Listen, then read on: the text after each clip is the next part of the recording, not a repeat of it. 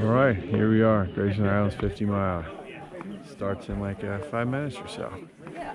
It's uh, a little before six.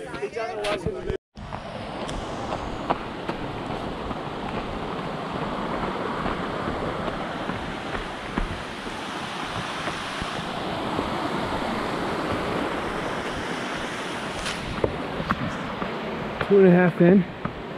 Sun's coming up. Headlamps are off.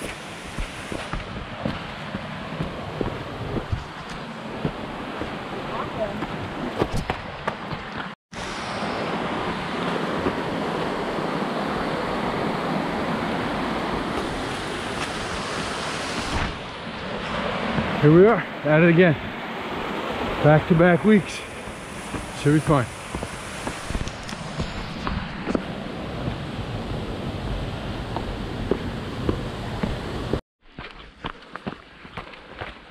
All right, three and a half in. Moving way too fast, but that'll figure itself out. Dark little uh, rhododendron area.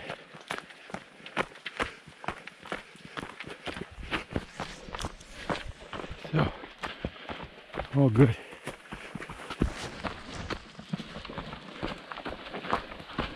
See air runners in back. Still past me, but people are beginning to uh, balance themselves out.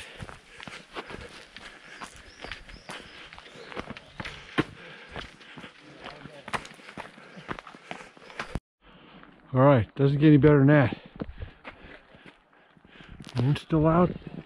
So this is the trail that Yuli and I were on yesterday where we saw the ponies at the top. This is called the Rhododendron Trail. So we're uh, creeping up on four. That's uh, that's why we pay money and do this shit. So maybe we'll get lucky and see some uh, ponies right up top.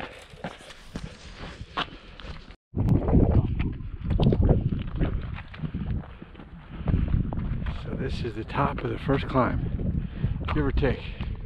Right where we saw our horses yesterday. There's our first little pony.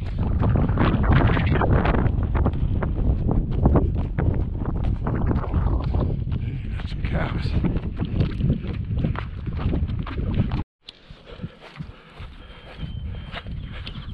All right, I lied. Now I'm at the top. 5.3 miles, hour and 10 minutes.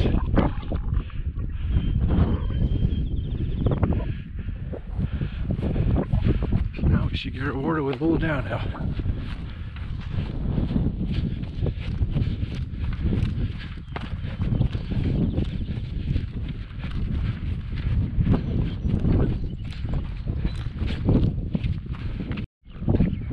All right.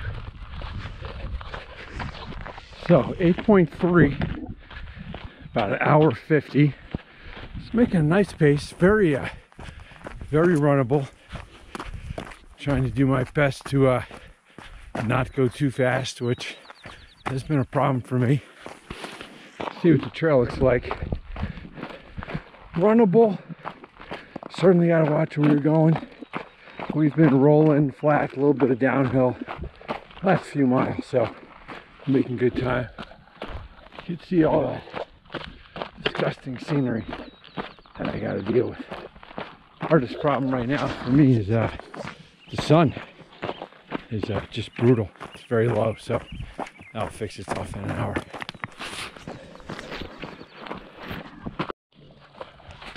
All right, so over a quarter of the way done. We're uh, creeping up on 13 miles. I've been running downhill for like literally five or six miles. So super fast pace, which is dangerous sometimes because I'm not sure I can sustain it. But it's just so hard not to let the legs stretch a little bit when you're going downhill. There was a long, uh, maybe a four mile section on a Jeep trail, which is pretty, pretty easy running. An hour on this kind of wide single track, double track maybe. Got some mud spots, but also pretty easy to run. So, feeling good. Running uh, fast, probably beyond my means for the moment, but I kind of change this as it gets a little hilly, which must be coming up here soon because it's a long downhill. Went through the first aid station. We got another one coming up in a little bit. But you can see pretty heavy woods. It's warming up nicely. The uh, top of the mountain with the wind blowing. It was definitely uh, cold. It's probably uh, 38 and then a 20, 30 mile an hour wind chill. It's probably 50 or so now, so pretty damn near perfect. So we'll check back in a little bit, probably during the next climb. All right, so mile 17, three and a half hours in. So the pace is uh, phenomenal. Been on this dirt road for a few miles now, mostly up, some flattened down, but uh, making really good time. Way better than I would have planned for. So see how long that continues. I'm getting past every once in a while, passing someone every once in a while, so doing my thing. Let's see, we've got a just a beautiful day. Got mountains on both sides. Continue to have people close, but not too close. So it's all good. Uh, we'll uh, check in next aid station. This is the longest one, 11 and a half miles. So next one is uh, seven miles, six and a half miles. So we'll see what we see before then, but uh, everything going swimmingly well, if that's a word. So we'll catch you guys later. There we go. All right, so creeping up on mile 22 pace is still good. Something weird happened back there and I still can't figure it out. So I'm running with this gentleman up there named Andy. He's actually a pastor, which is an interesting story. We both swear we were on the right path. It was exactly on our GPX files. Two different sources, him and mine. No one else there. And then we came out two miles later on the trail that I guess we were supposed to be at. So I think we ran two miles too far.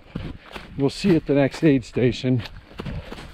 So we're passing people semi-regularly now, and most of them look like they're probably a slightly lower caliber than runner with than us, which makes sense if we're uh, if we did two miles extra. So I was expecting an aid station around mile 24.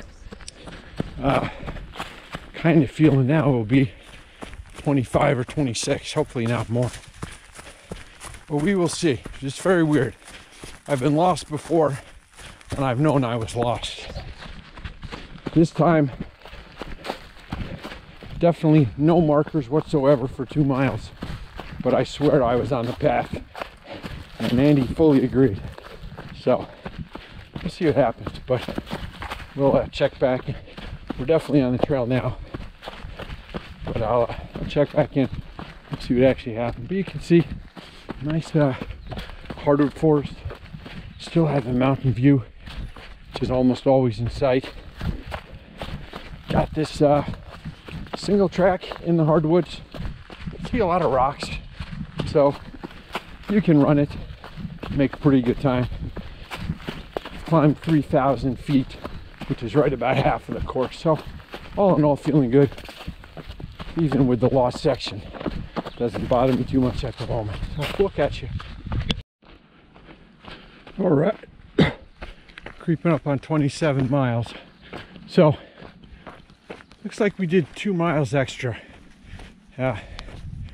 And the thought is, we actually ran the course properly, that it was marked wrong. It's kind of weird. Doesn't matter, I guess, but tons of people seem to do what we did, similar. So, just got through the aid station. Grabbed a big uh, handful of bacon, quesadilla, four Oreos. Heading back up to the aid station we were at before called Scales. And then, uh, then we run. So we're getting up into the highlands again, which is good. It's actually a little bit hot for me, which is a horrible thing to say. But uh, be nice to get up there, get some breezes. So I'm climbing, breathing heavy, still feeling overall pretty good.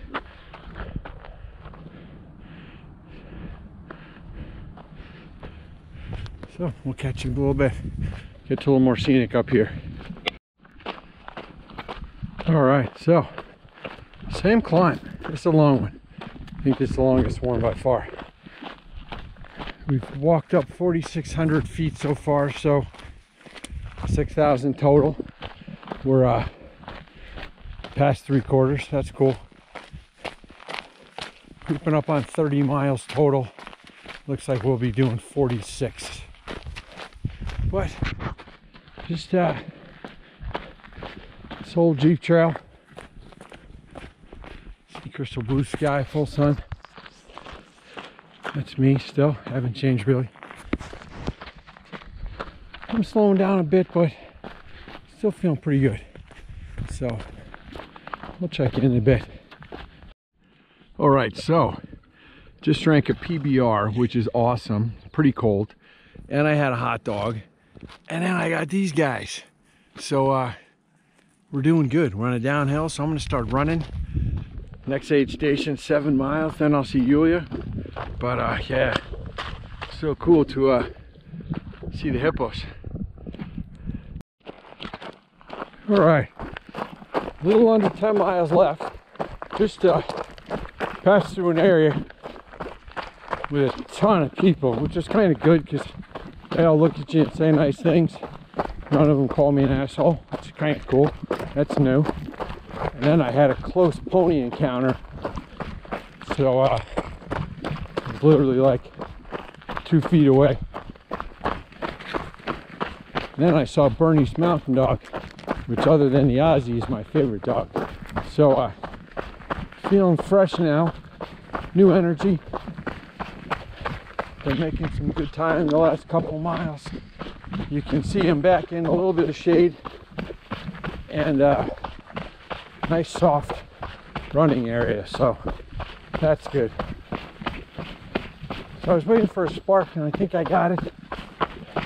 Now we got to get us nine miles home. I'll see Yulia, which will be good.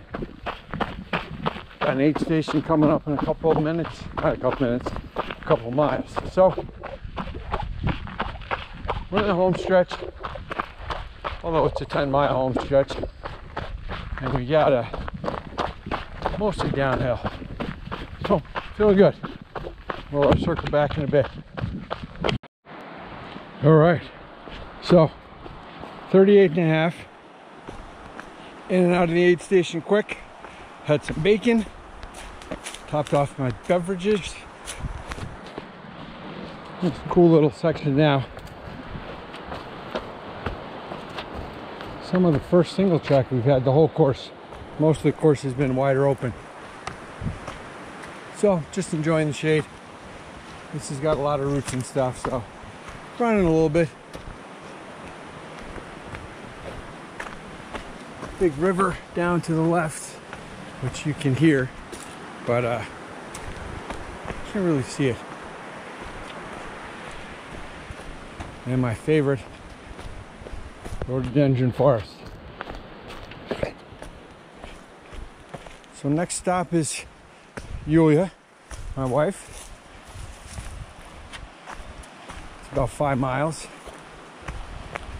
And then a pretty quick, I hope, shot to the finish line.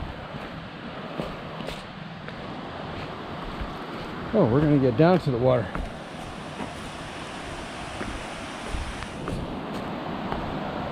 Thank you.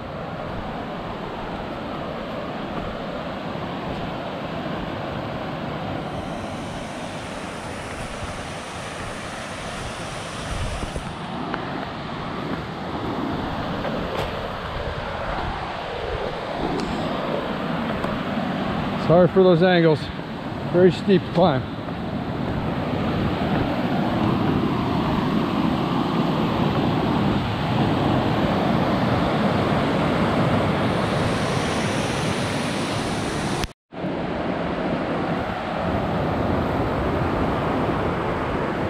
So going super slow here because it's totally fucking cool and because I can.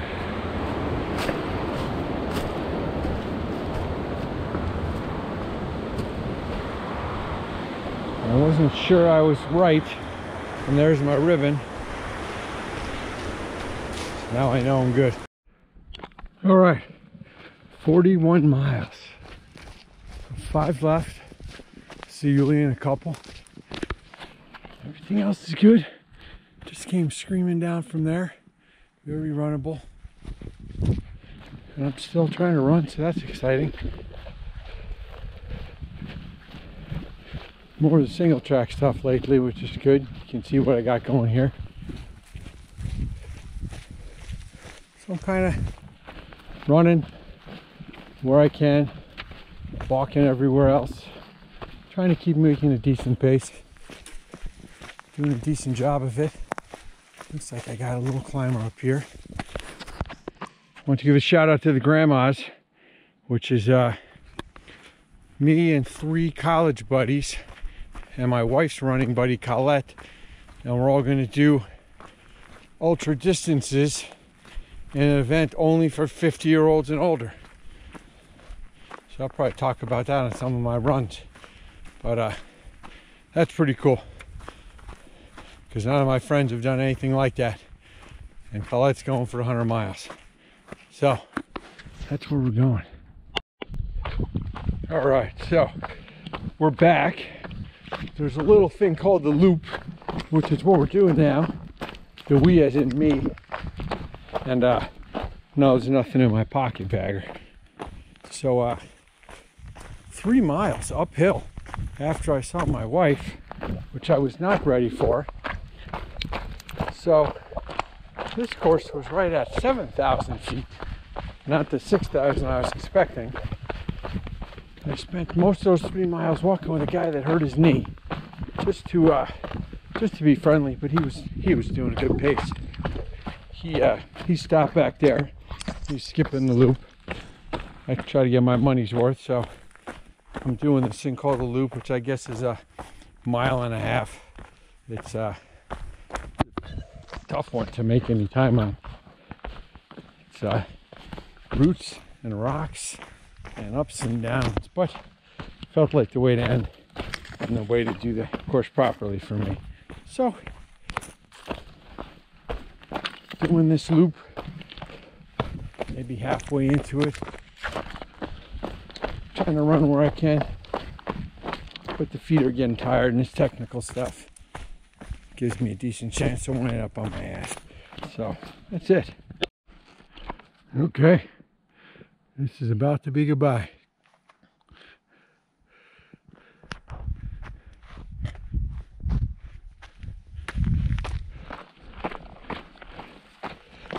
Got it. Less than half a mile. This is the loop. Very, uh, very technical little section. Kind of cool. Glad I, glad I did it. Which it's on the course, so not really a choice if you're playing by the rules. There's me one more time. Next time you'll see me, I'll be uh, in the victory circle, hopefully with a beer. So we'll catch you. All